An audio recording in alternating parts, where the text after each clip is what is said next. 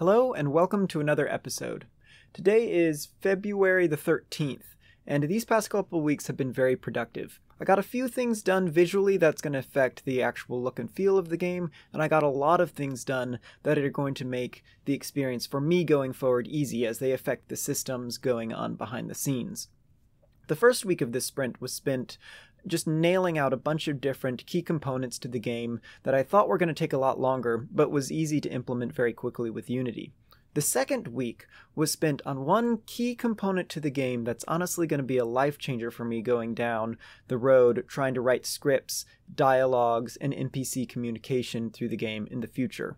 You'll see more about that later on, but right now, let's jump into what I got done the first week of this sprint. Alright, so starting out with the all-important Trello board, you can see here's the things I got done these past couple weeks. And in comparison to the previous week, it may not look like that much, but believe me, this is huge. A lot of these components are really big and super important. If you notice the first ones, it's store data locally and save game features. I was dealing with um, basic saving of data as I thought last time, but after I released my video a couple weeks, um, one of my friends commented on the video saying basically, I'd suggest loading JSON data into memory at startup though, um, which he's right about, you know. So I kind of need to. I don't know. I wasn't really thinking about how in video games you always have to save your data or you get the little icon on the bottom saying you're saving your data. I don't know why that didn't cross my mind, but I was able to implement those fairly quickly, and so now you can save the game. And then this one right here, Y sorting. This is something that I've done in previous 2D games before. It basically means, well, you'll see in a bit, but it basically means um, it, it, it mimics depth when you're playing a 2D game, a 2D top down game. It's going to make sense in a little bit. But Unity has an awesome way of implementing this now that I didn't have when I was starting Unity many, many years ago, but it's great. So this was a very easy one to implement. Uh, collision, collision. I actually made a video a week back about collision and player movement, how not to do it like I did it two weeks ago, and how to do it more properly. So this wasn't that hard to just clean up and do correctly. Camera follow, again, there's a great addition to Unity that helps you with that. And then this dialogue graph is what I got done the next week. But here's what I've gotten done this week. So let's hop over to Unity now and see it all in place. So right here, you can see not much has changed. I basically changed the colors, but now we have this save button. Um, so I'm going to hit play. And again, if you've watched my video on player movement. Some of this may be familiar, uh, but a good bit isn't. So first of all, what you can see is the camera moves. Kind of important, right? It's awesome though. It's and it's really easy. So um, if I go over to scene, actually maybe I should be in game. Go into cameras and open virtual camera. What you can see right here is I can play around with um, the padding basically on the camera. So this blue area is where the camera can go into, but it's going to try to keep getting back to the center. And then the red area is where the camera point will never be. So if we hit play while we've got virtual camera up, you'll see that the camera follows the character.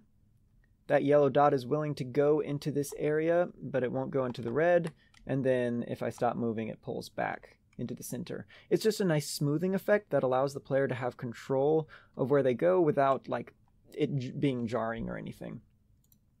That was easy. That was awesome. This is not something that I made up. This is something that you can just download to Unity Cinemachine. It's great. It works right out of the box. Um, now let's let's go ahead and play again with the character being able to move, and we're going to see First of all, real quick, I'll show you that there's player collision. So I can walk in front of this character, and believe me, I can't move through them. I'm trying. Um, and I can walk behind them, but I bump right into them. This would look obviously better if these were characters, um, me moving in front and moving behind, but it looks pretty basic right now. And also, you'll notice what I was talking about earlier, the Y sorting. Um, you see how the red character is in front of the blue character, but then it's behind? How that works is the game is sorting the different images based on their Y value, so their up and down value. If an object is higher up in the scene, then it's going to be on a layer deeper down in the scene. And if it's down below, it's on a layer higher up. Um, this used to be an annoying thing to implement in Unity. You basically had to do it completely all by yourself. You had to say, um, you had to keep checking the positions of objects and say what layer they're going to be on. It used to all be manual, but now there's this feature. I think it's in project settings. Uh, is it physics? No, it's graphics. Yeah, graphics right here, where I can just change the custom axis um, and say it goes along the y-axis with a value of 1. Basically, that means now it's going to be sorting objects along the y-axis instead of the usual axis that um, you have in a three-dimensional game. If you don't use Unity, this may not seem super exciting, but it was really exciting for me because it was a huge annoying problem made super easy and um, barely an inconvenience. Okay, what what else did I get done? Oh yes, so this big one, the save feature. So as you can see, the character says everything they said just like in the last video. I walk away. But what I've done as a test area for my save functionality, if I hit Y, I can change what they say. Let's say I've purchased something. So if I hit the Y button, they say thank you for your purchase. Um, and so what this is doing is it's changing the input of what they said. It's storing the fact that I've purchased something from them and we're moving on. And if I move closer, it says, thank you for your purchase. But what happens if I pause the game and start up again? Because I'm not actually storing any of this, because I haven't hit that handy dandy save button, it says get your fresh fruit here again, as if I've not done anything, as if I haven't hit Y and purchased. Uh, we're not saving any data. But now that I've hit Y, if I come up and hit save button, you'll see saving saved, and it's looking through all of the different files that have been changed because whenever I change a file, I mark it as changed, um, or all the data that I've changed. And then when I hit the save button, it goes back, looks for all the files or the data that's changed, and pushes those to the files. So now if I hit, um, if I turn it off and turn it on again, basically log out, log back into the game, I'm going to walk over here and this vendor recognizes that I've purchased from her and it's stored into the game forever. Now, obviously, this will be fleshed out a lot more, um, and I may have different save states that you can go into. I may make it so there's no save button, that it just automatically saves in the background um, when you close out the game or periodically. Uh, but for now, this is what we've got going. This only took a couple days, and it was actually pretty great. Let's see, is there anything else? Collision? Yeah, so that this was all of week one. After that, all of week two was spent on this dialogue graph, which I'll get into now.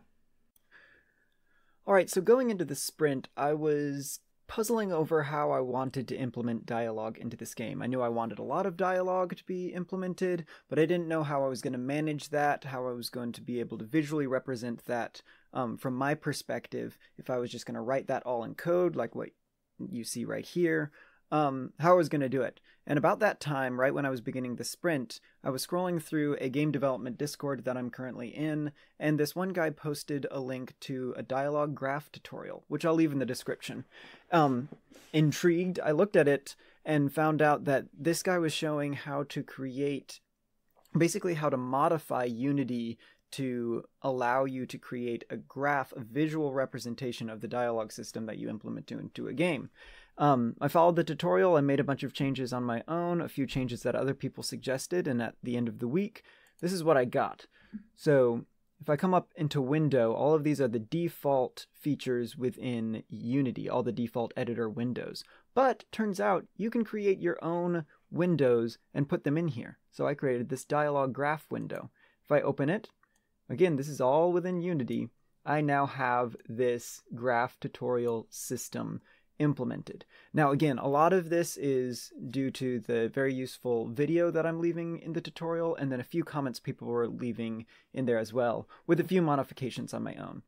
So basically, it's a it's a graphing system. If you've not seen one, I'm kind of show you what it is. If I uh, right click, I can create a node in the graph, and then I can create this dialog node, and I can connect these. So this is where the dialog tree would start. I can add options I can add a dialogue here, get your fresh fruit. And then I can have choices that this dialogue may lead to. So I can create another node and connect this one up. Uh, let's just go ahead and create another one. Uh, and then let's remove this choice, this third choice. And so I can just keep building this out. I can create more nodes, which I haven't yet. This is just basically um, a trial run of it. I can move things around, and this would basically be how the conversation flows. And these different options could be triggered by how the user responds, for example. So the conversation can lead off in a very meaningful way, and the best part of this is I, as the developer, can visualize it. Now, I can also go ahead and save this with Control S, and you can see over here we've got this new narrative um, loaded in over here, and I could rename it um, tests or something. You can see I have a few other ones, and what I can do actually is I can come into this create option. Again, this window is all within Unity, but I can add stuff here as well with this dialog graph, and I can create a new dialog graph, new test 2, and then I can open it up by double clicking on it and I can do just like what I was doing before. I can create a new dialog system. This is going to make it so much easier because I thought I was going to have to do all of the dialog system within code, like filling out these different conversations. Um, I can actually show you how I'm doing it right now.